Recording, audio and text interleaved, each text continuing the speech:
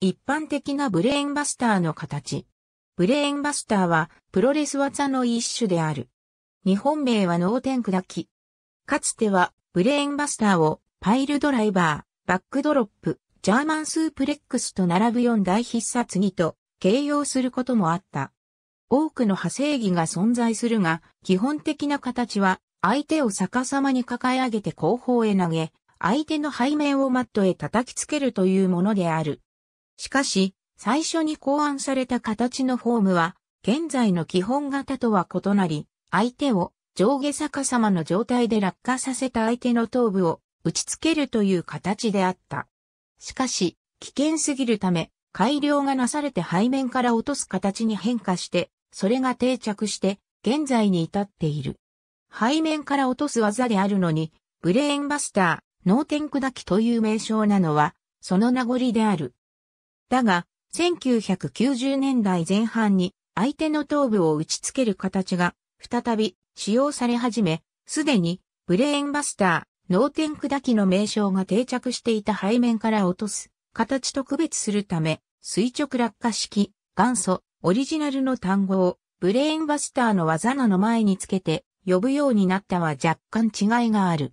詳細は口述の起源を参照。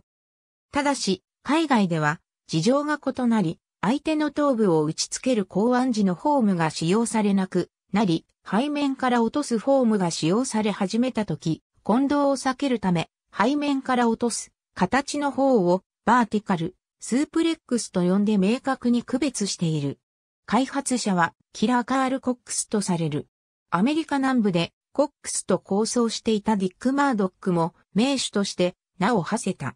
両者ともに頭部を下にした体勢から垂直に落とすスタイルのブレーンバスターを使用していた。なお、現在のプロレス界で垂直落下式、ブレーンバスターと呼ばれている技は、相手の頭部を打ち付ける点で共通しているものの、厳密に言えば、コックスやマードックが使用していたものとは、フォームなどが若干異なる。彼らのブレーンバスターの特徴は自身は、完全に倒れ込まず、尻餅をつくような体勢になりながら、相手を頭部からマットに落とす点にあり、これに対して近年使用されている垂直落下式は受け身を取り、安く改良されたものである。このため、コックスやマードックが使用したブレーンバスター及び、それとほぼ同型のものを元祖ブレーンバスターと呼んで、現在は一般化している垂直落下式と区別する場合もある。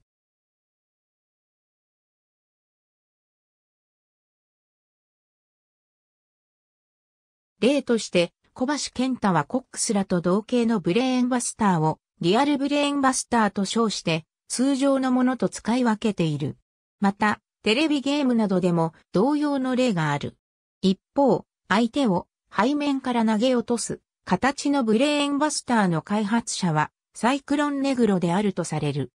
垂直落下式は危険性が大きいがソリ投げ式は見た目が派手で、マットに叩きつけた時の音も大きく、なおかつ安全であるなどの理由から、この方式が広く普及したと言われている。この反り投げ式、ブレーンバスターは多くのレスラーが得意技として用いた。現在では、この形のブレーンバスターで決着がつくことはほとんどなく、試合序盤から中盤で出されるつなぎ技や痛め技として用いられている。両フォームに共通だが、技をかける際に、受け手とかけ手の組み方が全く同じになるため、相手に投げ返される危険性が常に伴う技と言える。ブレーンバスターをこらえた後両者が組み合ったまま、力比べに移行する様はファンに古くから好まれているムーブの一つである。セカンドロープから仕掛けるなだれ式。ブレーンバスターで持ち上げて一旦静止した状態。ありがとうございます。